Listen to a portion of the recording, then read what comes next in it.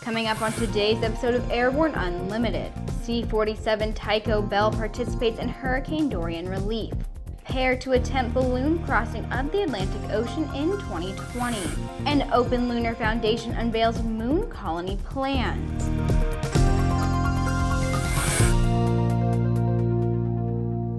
Welcome. I'm Sophie Hurlock. An airplane that once carried paratroopers into France on D-Day has taken a role in providing humanitarian relief to the hurricane-ravaged islands of the Bahamas in the wake of Hurricane Dorian. Tico Belle, a C-47 Skytrain owned by the Valiant Air Command, based in Titusville, Florida, has joined Brevard County, Florida's Relief for the Bahamas Coalition. On Saturday, the aircraft flew to Orlando International Airport to pick up about 5,000 pounds of much needed supplies and then carried the cargo to Sandy Point on Great Abaco Island. Valiant Air Command posted a relief effort update on Monday, stating in the past three days alone, they had hauled around 12,000 to 14,000 pounds of supplies. One thing Valiant Air Command says they're in need of, however, is tarps.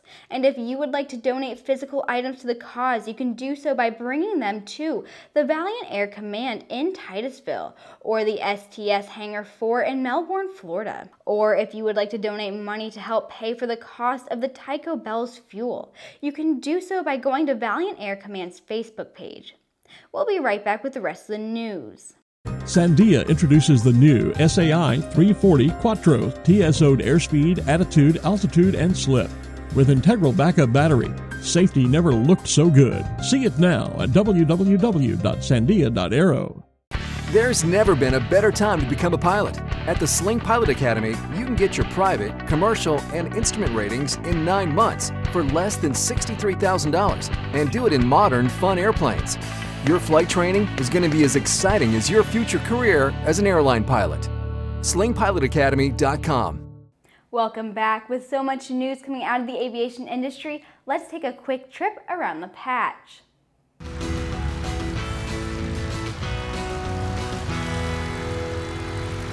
Boeing has suspended load testing of its 777X following the failure of the static test plane's cargo door, which exploded outward during a high pressure test. The test article was built only for ground testing and was not intended to be airworthy. Overall testing of the 777X will continue. Airbus Helicopters delivered its 1000th Super Puma helicopter, a twin-engine multi-role H215, to the German Federal Police to support the German Cavalry Command. The delivery completes the German Federal Police's order of four H215s, the first of three which were delivered back in December of 2018 after losing contact with the Chandrayaan 2 Vikram lunar lander during its final descent to the moon's surface.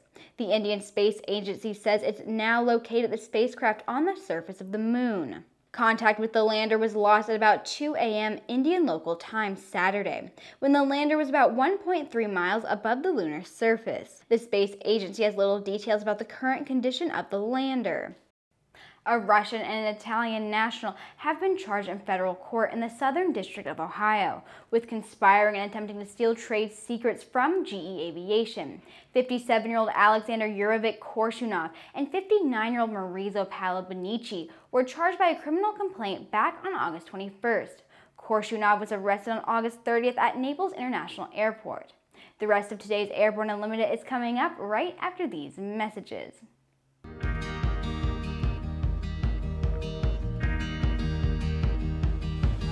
Today is a new dawn. With a new name. Un nuevo logotipo. A new factory. Und einen globalen Kundenfokus. We are Continental Aerospace Technologies and we stand behind you.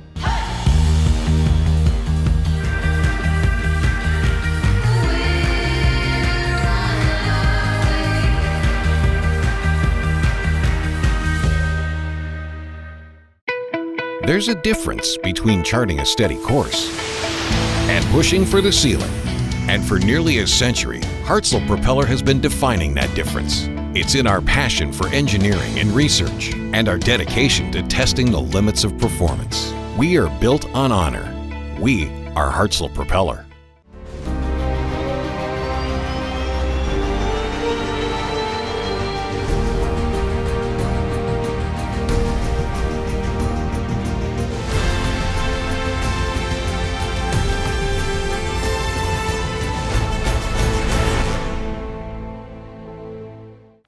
In the summer of 2020, Deborah Day and Mike Scholes will take on an exciting and challenging record-breaking attempt to fly across the Atlantic Ocean in a Cameron Balloons gas and hot air combination balloon.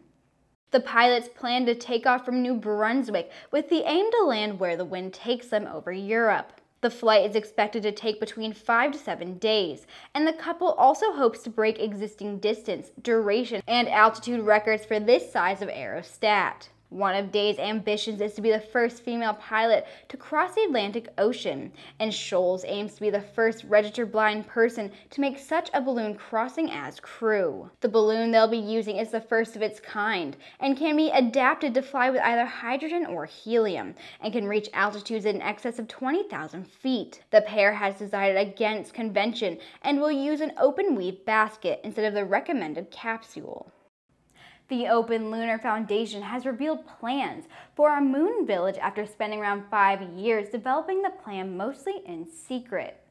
Last week, venture capitalist Steve Jurvetson posted to Twitter the establishment of the settlement would cost only around $5 billion and could be achieved within NASA's current budget. The Open Lunar Foundation is comprised of a group of tech executives and engineers, many of which have former ties to NASA. The group has spent the last 18 months meeting in private to lay out the type of early missions that would make the most sense. The strategy of the foundation is to borrow from existing open source technology to move the project forward. They also have plans to share data and hardware designs. And that wraps up today's episode of Airborne Unlimited. Thank you so much for watching, and don't forget to subscribe and to check us out on Twitter and on Facebook. To get the latest aviation aerospace news any time of the day, just head over to aero-news.net. I'll see you tomorrow.